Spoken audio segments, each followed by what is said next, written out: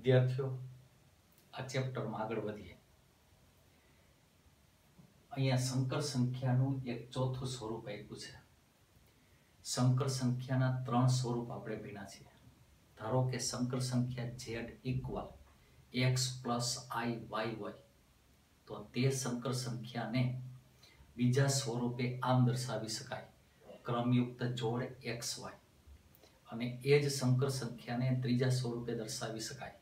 Z equal mod Z બ્રેકેટમાં cos plus I sine theta જેને આપણે સંકર સંખ્યાનું ધ્રુવીય સ્વરૂપ એટલે કે પોલર ફોર્મ કહીએ છીએ.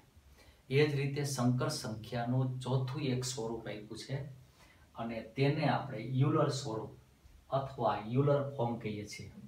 ધારો કે સંકર સંખ્યા ઝેડ ઇક્વલ માનાંક Z બ્રેકેટમાં cos theta plus I sine theta છે. તો એ સંકર સંખ્યાનો મુખ્ય કોણાંક એટલે કે પ્રિન્સિપલ આર્ગ્યુમેન્ટ થીટા થશે અને એ સંકર સંખ્યાનો મોડ મોડ્યુલસ એ માનાંક ઝેડ થશે. તો આ જે સંકર સંખ્યાનું ધ્રુવીય સ્વરૂપ આપ્યું છે, એટલે કે પોલર ફોર્મ ફરીથી બોલું ઝેડ ઇક્વલ માનાંક Z બ્રેકેટમાં cos theta plus I sine theta એમાં cos theta plus I sine થીટાને E raise to I theta વડે આપણે દર્શાવી શકીએ છીએ. તો cos theta plus I sine theta એના સ્થાને E raise to I sine theta sorry E raise to I theta મૂકીએ, તો આપને સંકર સંખ્યાનું નવું એક સ્વરૂપ મળશે. Z equal માનાંક Z into E raise to I theta થશે. તો અહીંયા જે નવું એક સ્વરૂપ મૂક્યું છે એને આપેલી સંકર સંખ્યાનું યુલર સ્વરૂપ કહીએ છીએ. તો સંકર સંખ્યાનું યુલર સ્વરૂપ આવું કંઈક બનશે. Z equal mod z into e raise to i theta. એમાં મોડ ઝેડ એ આપેલી સંકર સંખ્યાનો માનાંક મોડ્યુલસ દર્શાવશે.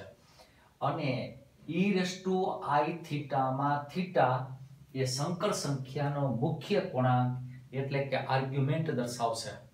તો આ રીતે સંકર સંખ્યાને નવા એક સ્વરૂપે આપણે દર્શાવી શકીએ છીએ, જેને સંકર સંખ્યાનું યુલર ફોર્મ કહે છે. અને સાથે સાથે જો cos theta minus I sine theta હોય, તો એને આપણે આમ લખી શકીએ છીએ. Cos minus theta plus I sine minus theta કેમ કે કોસ માઇનસ થીટા એટલે cos theta I sine minus theta એટલે માઇનસ સાઇન થીટા તેથી cos theta minus I sine થીટાને આપણે આમ લખી શકીએ. Cos minus theta plus I sine minus theta અને તેથી આનું ઘાતાંકીય સ્વરૂપ આવું બનશે. E raise to minus I theta શા માટે? તો કે કોસ અને સાઇનનો પ્રદેશ ઘટક માઇનસ થીટા છે. તેથી ઈના ઘાતાંકમાં થીટાના સ્થાને માઇનસ થીટા મૂકવાના. એટલે E raise to minus I theta બને. તો સાથે આઈએ યાદ રાખીએ. Cos theta plus I sine theta બરાબર E raise to I theta બને. અને cos theta minus I sine theta equal E raise to minus I theta બને. તમે થીટાના સ્થાને આલ્ફા મૂકો તો તેનું ઘાતાંકીય સ્વરૂપ E raise to I alpha બનશે. થીટાના સ્થાને તમે પાઈ અપોન ટુ મૂકો, તો ઘાતાંકીય સ્વરૂપ E raise to I pi upon two બને. થીટાના સ્થાને માઇનસ પાઈ બાય ફોર મૂકીએ, તો તેનું ઘાતાંકીય સ્વરૂપ E raise to minus I into pi by four બને. તો આ રીતે. તો આ સંકર સંખ્યાનું ચોથું સ્વરૂપ છે. અને સાથે એક નિયમ અહીંયા આપ્યો છે. Cos theta plus i sine theta whole raise to n હોય, તો એને આપણે આમ લખી શકીએ.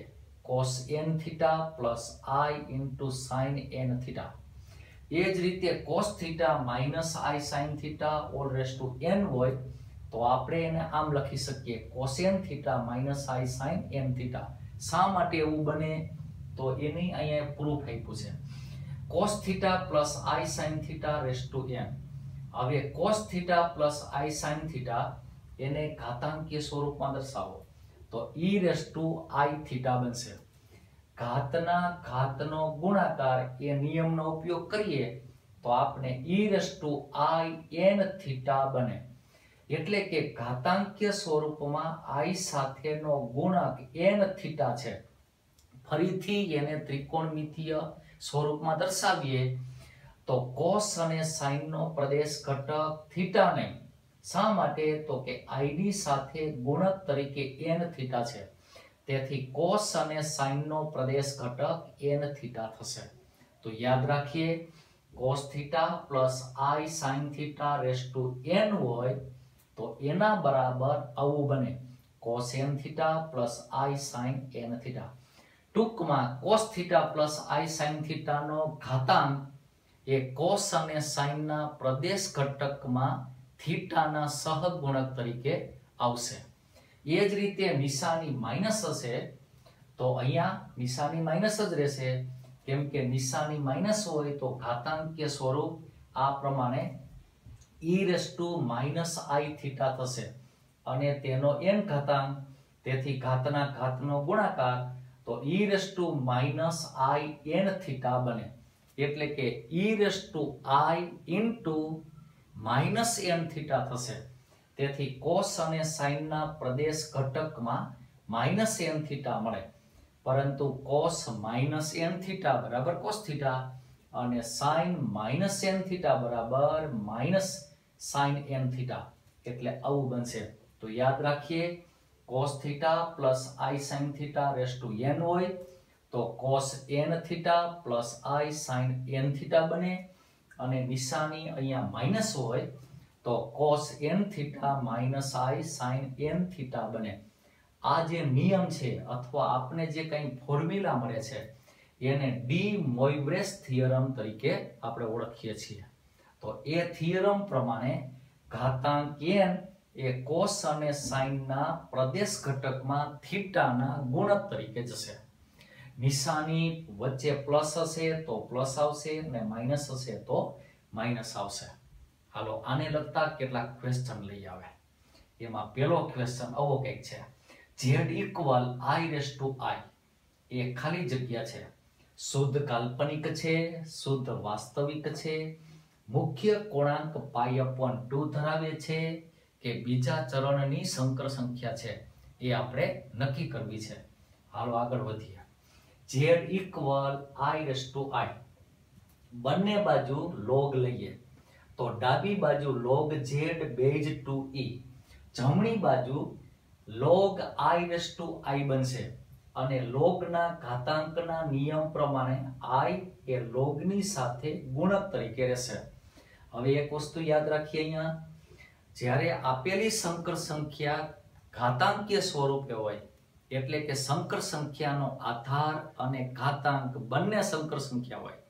ફરીથી બોલું સંકર સંખ્યા ઘાતાંકીય સ્વરૂપમાં હોય, એટલે કે આધાર અને ઘાતાંક બંનેમાં સંકર સંખ્યાનું સ્વરૂપ હોય. અને આપણે એનું સાદુરૂપ આપવું છે, તો તમારે બંને બાજુ લોગ લેવો પડે. એટલા માટે અહીંયા z equal i raise to i હવે આપણે આનું સાદુરૂપ આપવું છે. અથવા સંકર સંખ્યાને તેના પ્રમાણિત ફોર્મમાં દર્શાવવું છે, તો ફરજિયાત બંને બાજુ આપણે લોગનો ઉપયોગ કરવો પડે. તેથી ડાબી બાજુ log z base to e અને જમણી બાજુ i into log i base to e થશે. હવે જમણી બાજુ સાદું રૂપ આપીએ. હવે લોગની સાથે પ્રદેશ ઘટકમાં આઈ છે અને આઈ એટલે જીરો પ્લસ આઈ તો જીરો પ્લસ આઈ, આ સંકર સંખ્યાને સંગત બિંદુ વાય અક્ષની ધન દિશાએ આવશે. તેથી તેનો મુખ્ય કોણાંક principal argument pi upon two થશે. તેથી આ સંકર સંખ્યાનું યુલર સ્વરૂપ.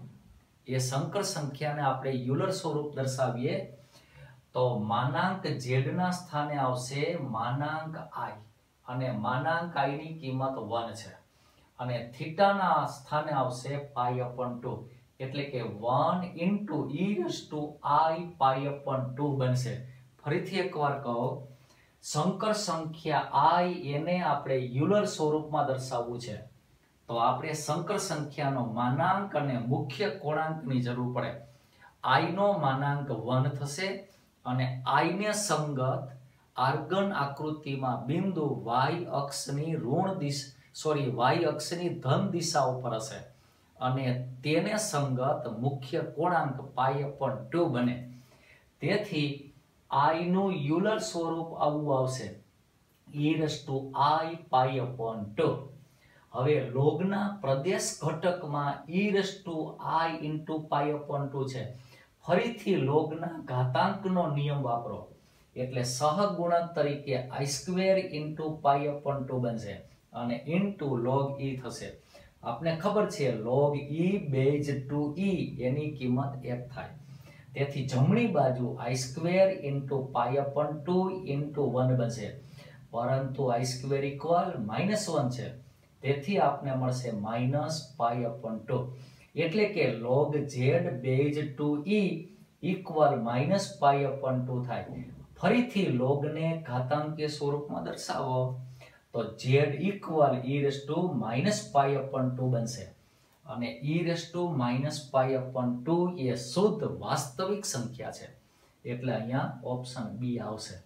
તો આ રીતે આધાર અને ઘાતાંક બંનેમાં સંકર સંખ્યાનું સ્વરૂપ હોય અને તે સંકર સંખ્યાનું સાદુરૂપ આપવું હોય તો આપણે બંને બાજુ લોગની ક્રિયા કરવી પડે અને તો આપણે એનું સાદુરૂપ આપી શકીએ.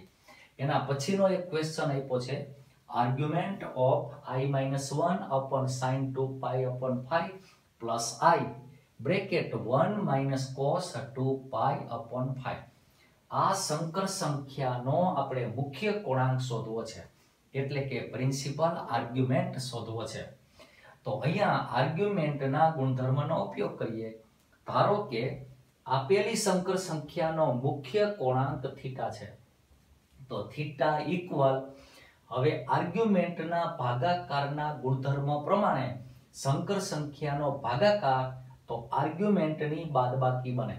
તેથી આપણે મળશે argument of minus one plus i minus argument of sine two pi upon five plus i bracket one minus cos two pi upon five પહેલી સંકર સંખ્યા આઈ માઇનસ વન એને મેં આમ લખી માઇનસ વન પ્લસ આઈ બીજી જે સંકર સંખ્યા છે, એટલે કે છેદની, એમાં અહીંયા સાઇન ટુ એક્સનું સૂત્ર મીકો, તો આપને આ મળશે. Sine sorry two sine pi upon five into cos pi upon five અને one minus cos two x એના સ્થાને એક સૂત્ર મૂક્યું તો કે ટુ સાઇન સ્ક્વેર એક્સ તેથી આપને મળશે two sine square pi upon five અને આઈ એની સાથે ગુણકમાં છે. તો છેદની સંકર સંખ્યામાં sin two pi upon five ના સ્થાને ટુ એક્સનું સૂત્ર અને one minus cos two pi upon five ના સ્થાને વન માઇનસ કોસ ટુ એક્સનું સૂત્ર મૂકો એટલે આપણે આવું કંઈક મળશે. હવે માઇનસ વન પ્લસ આઈ નો મુખ્ય કોણાંક આપણે સીધો શોધી શકીએ.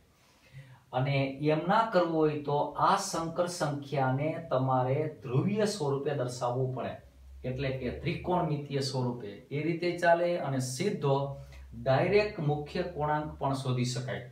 હાલો ડાયરેક્ટ વિચારીએ તો માઇનસ વન પ્લસ આઈ તો આ સંકર સંખ્યા માઇનસ વન પ્લસ આઈ એને સંગત બિંદુ ક્યાં આવશે?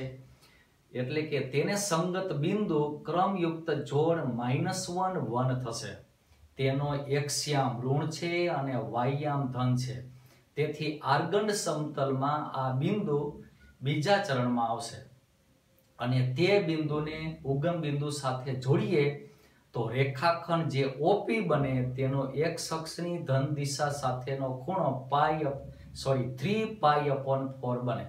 એમ ના વિચારીએ તો બીજી રીતે આ સંકર સંખ્યાનો મુખ્ય કોણાંક ધારો કે આલ્ફા છે. તો tan alpha equal b upon a formula પ્રમાણે ટેન આલ્ફા ઇક્વલ બીના સ્થાને વન અને એના સ્થાને માઇનસ વન તો tan alpha equal minus one થશે. તેથી alpha equal three pi upon four શા માટે? તો કે આને સંગત બિંદુ બીજા ચરણમાં આવે. અને બીજા ચરણમાં, બીજા ચરણને સંગત મુખ્ય કોણાંકની કિંમત પાઈ બાય ટુ અને પાઈની વચ્ચે હોય એટલે થ્રી પાઈ અપોન ફોર થશે. તેથી આ સંકર સંખ્યાનો મુખ્ય કોણાંક three pi upon four direct ના વિચારવું હોય તો આપણે એને ધ્રુવીય સ્વરૂપે જો અહીં દર્શાવ્યું છે. હાલો, બીજી સંકર સંખ્યા માટે. આ બંને સંકર સંખ્યામાંથી two into sine pi upon five common તો બ્રેકેટમાં cos pi upon five plus i sine pi upon five મળશે. તો આ એક પ્રકારની સંકર સંખ્યા છે. અને આ સંકર સંખ્યામાં કોસ અને સાઇનનો પ્રદેશ ઘટક પાઈ અપોન ફાઈ છે. તેથી આ સંકર સંખ્યાનો મુખ્ય કોણાંક પાઈ અપોન ફાઈ બનશે. તો પહેલી સંકર સંખ્યાનો મુખ્ય કોણાંક three pi upon four minus બીજી સંકર સંખ્યાનો મુખ્ય કોણાંક પાઈ અપોન ફાઈ બાદબાકી કરીએ તો ઇલેવન બાય અપોન ટ્વેન્ટી મળશે. એટલે કે આપણે અહીંયા સી વિકલ્પ મળશે. જે આપેલી સંકર સંખ્યાનો મુખ્ય કોણાંક પ્રિન્સિપલ આર્ગ્યુમેન્ટ દર્શાવે છે. એના પછીનો એક ક્વેશ્ચન અહીંયા આપ્યો છે. Z plus one upon z equal two cos theta તો mod z raise to two n minus one upon z raise to two n plus one આની કિંમત આપણે શોધવાની છે. હાલો, મેળવીએ. શું થાય? તો અહીંયા z plus one upon z equal two cos છે. તેથી સંકર સંખ્યા ઝેડની એક કિંમત તમે આવી લઈ શકશો. Cos theta plus i sine શા માટે? તો કે z equal cos theta plus i sine હોય, તો વન અપોન ઝેડની કિંમત cos theta minus i sine બને. તેથી એનો સરવાળો ટુ કોસ થીટા થાય. તેથી સંકર સંખ્યા ઝેડની એક કિંમત આવા પ્રકારની થશે. તો જ z plus one upon z equal two into cos theta આપણે મળે. હવે અહીંયા આપણે ઝેડ રેસ ટુ એનની જરૂર છે. તો z equal cos theta plus i theta હોય તો z dash to n equal cos n theta plus i sine n theta બને. કેમ કે ડી મોઇવરેસ થિયરમ પ્રમાણે. એટલે કે ઝેડ નો ઘાતાંક એ કોસ અને સાઇન ના પ્રદેશ ઘટકમાં થીટાની સાથે ગુણકમાં રહેશે. એ જ રીતે, એ જ રીતે z dash to minus n હોય, તો કોસ અને સાઇન ના પ્રદેશ ઘટકમાં થીટાનો ગુણક માઇનસ એન આવશે. અને આપને ખબર છે કોસ માઇનસ એન થીટા બરાબર કોસ અને સાઇન માઇનસ એન થીટા બરાબર માઇનસ સાઇન એન તેથી z raise to minus n equal cos n theta minus i sine n બનશે. હવે અહીંથી શરૂ કરીએ. આપણે જેનો મોડ શોધવાનો છે ત્યાંથી એટલે કે mod z raise to two n minus one છેદમાં z raise to two n plus one અંશ અને છેદમાંથી z raise to n common કાઢીએ. કોમન અને કેન્સલ તેથી અંશમાં z raise to n minus one upon z raise to n થશે. છેદમાં છેદમાં z raise to n plus one upon z raise to n બનશે. z રેસ ટુ એન અને આને આપણે કેમ લખી શકીએ? z raise to minus n તો z રેસ ટુ એનની કિંમત મૂકો, z રેસ ટુ માઇનસ એનની કિંમત મૂકો. તો આ કિંમત અને આ કિંમતની બાદ બાકી એટલે cos n થીટા ઉડી જશે. I sin minus minus plus i sin. તેથી અંશમાં આવશે 2i sin n થીટા છેદમાં આ બંનેનો સરવાળો તો cos n plus cos n theta એટલે છેદમાં આવશે 2 ઇન્ટુ cos n થીટા તો આ રીતે આપણે અંશ અને છેદ મળશે. અંશ અને છેદમાંથી 2 2 ઉડાડી દઈએ. તો આપણે માનાંકની અંદર i into tan n theta મળશે. બંનેને સ્વતંત્ર મોડ આપી દો અને i નો મોડ એટલે વન કેમ કે સંકર સંખ્યા i નો માનાંક વન થાય. અને ઇન્ટુ માનાંક ટેન એન થીટા આપણને મળશે. એટલે કે અહીંયા પહેલો ઓપ્શન થશે. તો આ રીતે એની ગણતરી સરળતાથી આપણે કરી શકીએ. જો એકદમ સરળતાથી ગણતરી થઈ શકે છે. બધા પ્રશ્નોમાં ગણતરી એકદમ સરળ છે. તમારે તમામ પ્રકારના સ્વરૂપો, એ તમામ પ્રકારના સ્વરૂપને સંગત મળતા ગુણધર્મ, એટલે કે એની પ્રોપર્ટીઝ એ બધું તમારે યાદ રાખવું પડે. હાલો, એના પછીનો question z equal root three plus i whole raise to seventeen upon one minus i whole raise to fifty એનો મુખ્ય કોણાંક આપણે શોધવાનો છે. હાલો, તેનો મુખ્ય કોણાંક મેળવીએ. ધારો કે z નો મુખ્ય કોણાંક આર્ગ્યુમેન્ટ ઓફ z, એટલે કે આપણે આ સંકર સંખ્યાનો મુખ્ય કોણાંક શોધવો છે. તેથી આપણે આવી રીતે આગળ વધીએ. આર્ગ્યુમેન્ટ z બરાબર. આર્ગ્યુમેન્ટ આ સંકર સંખ્યા. આર્ગ્યુમેન્ટના ભાગાકાર અને ઘાતાંકના નિયમ પ્રમાણે આ 17 એ આર્ગ્યુમેન્ટ સાથે ગુણકમાં રહેશે. સંકર સંખ્યાનો ભાગાકાર છે એટલે આર્ગ્યુમેન્ટમાં બાદબાકી થશે. અને છેદની સંકર સંખ્યાનો ઘાતાંક 50 છે એ બીજા આર્ગ્યુમેન્ટ સાથે ગુણક તરીકે રહેશે. તો ટૂંકમાં આ સંકર સંખ્યાનો આર્ગ્યુમેન્ટ એટલે કે આર્ગ્યુમેન્ટ ઓફ z બરાબર. Argument of root three plus i raise to seventeen, છેદમાં one minus i whole raise to fifty. આર્ગ્યુમેન્ટના ભાગાકારનો નિયમ એટલે બાદબાકી. આર્ગ્યુમેન્ટના ઘાતાંકનો ગુણધર્મ એટલે સેવન્ટીન અને ફિફ્ટી એ સહગુણક તરીકે રહેશે. હવે આ સંકર સંખ્યાનો આર્ગ્યુમેન્ટ શું બને તે આપણે શોધવાનું. ધારો કે આ સંકર સંખ્યાનો આર્ગ્યુમેન્ટ આલ્ફા છે, તો tan alpha equal one upon root three થશે. અને tan alpha equal one upon root three, તો alpha equal pi by six મળે. તેથી પહેલી સંકર સંખ્યાનો મુખ્ય કોણાંક પાઈ અપોન સિક્સ થશે. પ્રિન્સિપલ આર્ગ્યુમેન્ટ બીજી સંકર સંખ્યા વન માઇનસ આઈ છે. અને આ સંકર સંખ્યાને સંગત બિંદુ ચોથા ચરણમાં મળે. એટલે તમારે મુખ્ય મુખ્ય કોણાંક ચોથા ચરણનો ઘટક વિચારવાનો. હાલો, આનો મુખ્ય કોણાંક ધારો કે બીટા છે, તો tan beta equal minus one છેદમાં વન, એટલે કે tan beta equal minus one. તેથી beta equal minus pi by four, કેમ કે ચોથું ચરણ. કેમ કે આ સંકર સંખ્યા ને સંગત બિંદુ ચોથા ચરણમાં મળે. તેથી આનો મુખ્ય કોણાંક માઇનસ પાઈ બાય ફોર થશે. તો seventeen into pi by pi by six minus fifty into minus pi upon four. Minus minus plus two two ઉડાડી દો એટલે આવું થશે. બંનેનો સરવાળો ninety two pi upon six. Two two હજી કેન્સલ કરીએ તો અંશમાં ફોર્ટી સિક્સ પાઈ છેદમાં થ્રી આવશે. આપણે આપેલી સંકર સંખ્યાનો મુખ્ય કોણાંક શોધવો છે. એટલે કે આ કોણાંકની કિંમત માઇનસ પાઈ થી પાઈ સુધીનો ઘટક મળવો જોઈએ. તો આપણે એ રીતે એને ફેરવવો પડે. તો આને આપણે બે ભાગમાં વિભાજિત કરીએ. Sixteen pi plus minus two pi upon three હવે સિક્સટીન પાઈને સંગત બિંદુ આપને ખબર છે, એકમ વર્તુળમાં એ ઉપર આવશે. એટલે કે તમારે આઠ પરિભ્રમણ, આઠ પૂર્ણ પરિભ્રમણ એન્ટી ક્લોકવાઇઝ લગાડો. એટલે તમે ફરીથી એ બિંદુ ઉપર આવશો. હવે તેમાં minus two pi upon three એટલે તમારે ક્લોકવાઇઝ આગળ વધવાનું. ક્યાં આવશે? બીજા ચરણમાં. આ રીતે આવશે આમાં.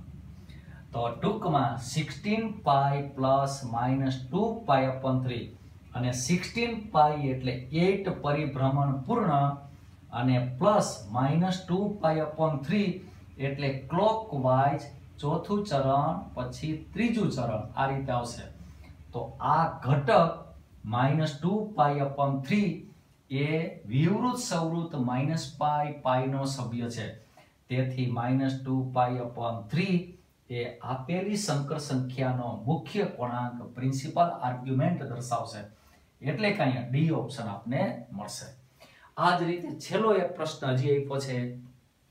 Four plus five બ્રેકેટમાં minus one plus root three i upon two whole raise to three thirty four. Plus three બ્રેકેટમાં minus one plus root three i upon two whole raise to three sixty five આની કિંમત આપણે શોધવી છે. એટલે કે આનું સાદુરૂપ. એટલે કે સંકર સંખ્યા તમને જે આપી છે કાંઈ, એનું તમારે સાદુરૂપ આપવાનું છે. અથવા તે સંકર સંખ્યાને એ પ્લસ આઈબી સ્વરૂપે દર્શાવવો છે. એટલે કે તે સંકર સંખ્યાને તમારે પ્રમાણિત સ્વરૂપે દર્શાવવી છે. હાલો, સાદુરૂપ દર્શાવી આગળ વધીએ.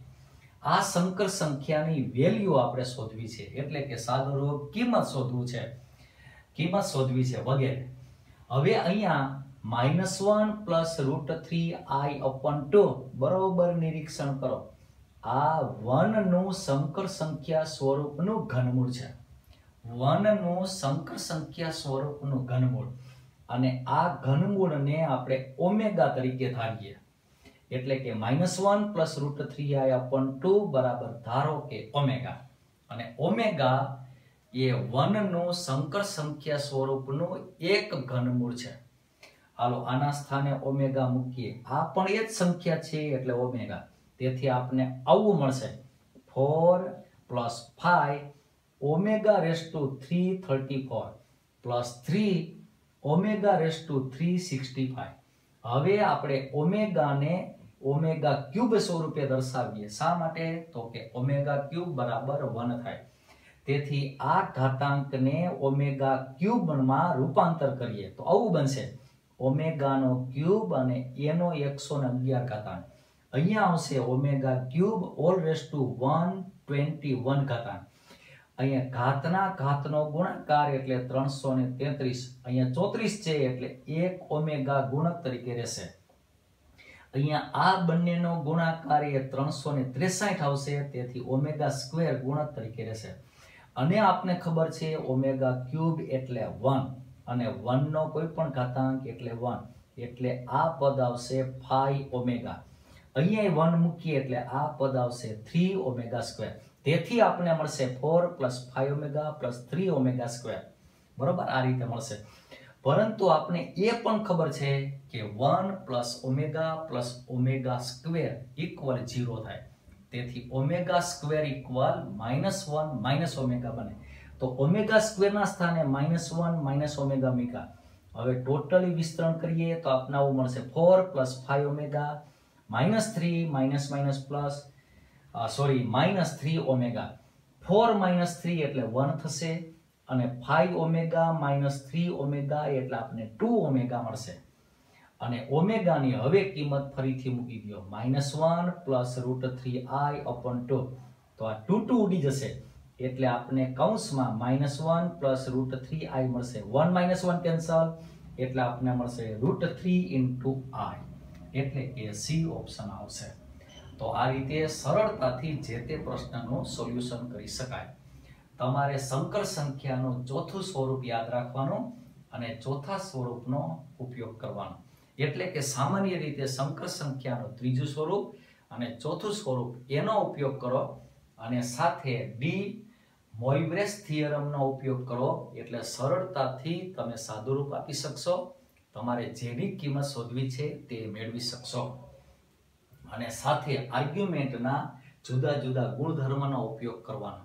એટલે કે પ્રિન્સિપલ આર્ગ્યુમેન્ટના જે પ્રોપર્ટી છે પાંચ, એનો ઉપયોગ કરવાનો. તો આ રીતે આપણે સરળતાથી જે તે પ્રશ્નનો જવાબ મેળવી શકીએ. એક પણ પ્રશ્ન અઘરો નથી અને આવા પ્રકારના પ્રશ્નો જુદી જુદી જુદી એન્ટ્રન્સ ટેસ્ટમાં ક્યાંક ને ક્યાંક પૂછાય છે. બસ, અસ્તુ.